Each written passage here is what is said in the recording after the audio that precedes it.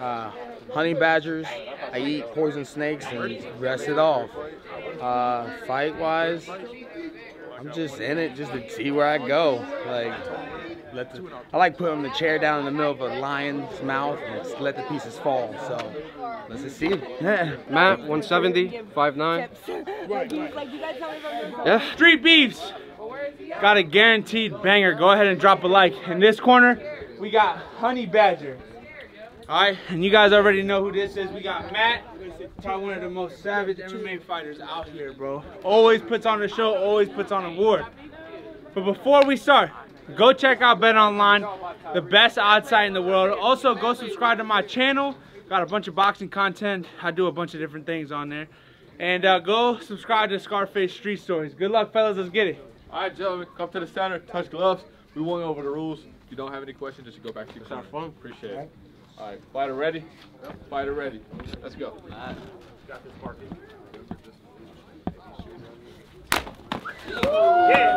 That's it. That's it.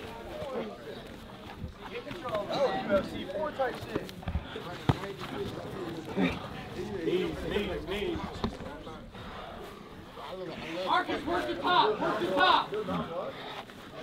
Work the top out, Marcus.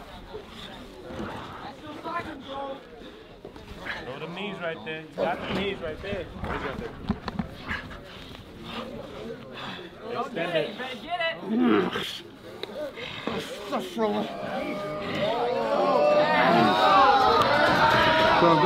Don't grab the close.